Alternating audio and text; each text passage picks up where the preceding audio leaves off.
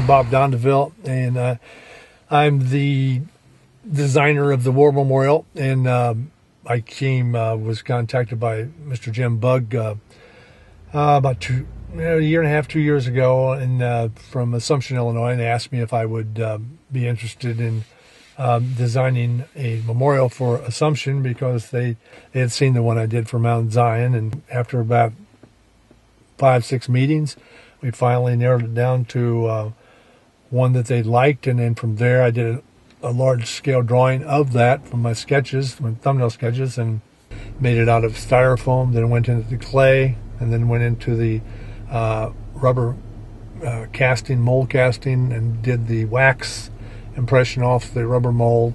And then we got to the point where I had to cut the wax mold of the eagle up and I said, uh, then they said I'd have to cut it up into uh, several pieces, almost up to 18. They weren't sure, and I said, nah, I'm not. I'm not going to do that." I said, I, "There's got to be a better way." So, I contacted uh, uh Mike Petrucci, who is a foundry and showroom in uh, in uh, Clarkston, Michigan, just outside of Detroit, and, and so I put it in the car. My wife and I, Bev, and we drove it to Michigan and a very emotional moment when they lifted the garage door and the young man was standing there and and it was uh, covered in felt and he said uh, here it is and he pulled it back and and uh, you know in a very emotional moment for me because it was uh, it represents buddies that lost their lives in Vietnam when I was there uh, veterans of today. It was all in one ball of wax and and I told him I said it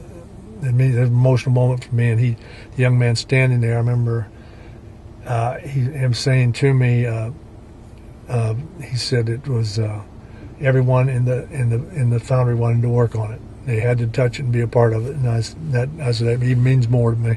I said because that's what it's all about. It's a great feeling, great feeling because uh, I have a slight connection with this town other than the Bug family. That uh, I went to fifth grade here when my dad worked for Caterpillar and came down from Peoria back in '59.